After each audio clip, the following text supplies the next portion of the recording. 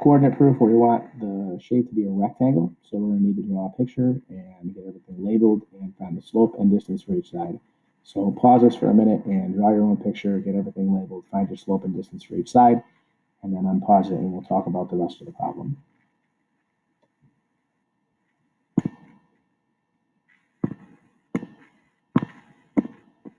Okay, so there's my picture.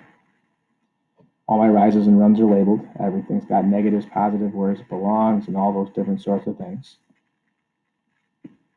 Here is my table with all of my slopes and distances. So I am looking for it to be a rectangle. So to be a rectangle, I need the shape to have every pair of sides that hit each other. Consecutive sides will be perpendicular. So I need four pairs of perpendicular sides so that I'll have four right angles. So I'm going to go down through and check and make sure that everyone is perpendicular and label them. So those two definitely perpendicular, flipped over opposite signs. This one here has two negatives, so it's actually positive 2 over 5, which would make those two perpendicular. Those two are also perpendicular, and then these two here are also perpendicular. Remember, perpendicular means the fraction is flipped over and the sign of the fraction is the opposite sign. So one fraction is positive, one fraction is negative. So that information tells me that it is a rectangle.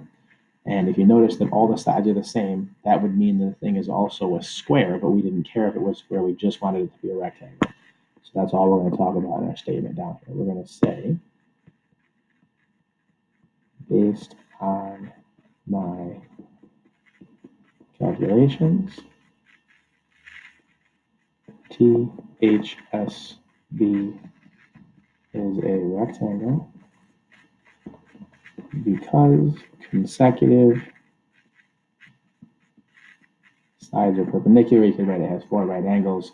Um, it's something that says that you found that those are perpendicular. And again, the big thing is the calculations, the picture, the labels in the calculations where you're saying what's actually happening almost all of the points. The statement's worth either the last point or possibly the last two points if it's a bigger problem. So make sure those calculations are uh, as good as you possibly can have them and labeled so that they're easy to deal with.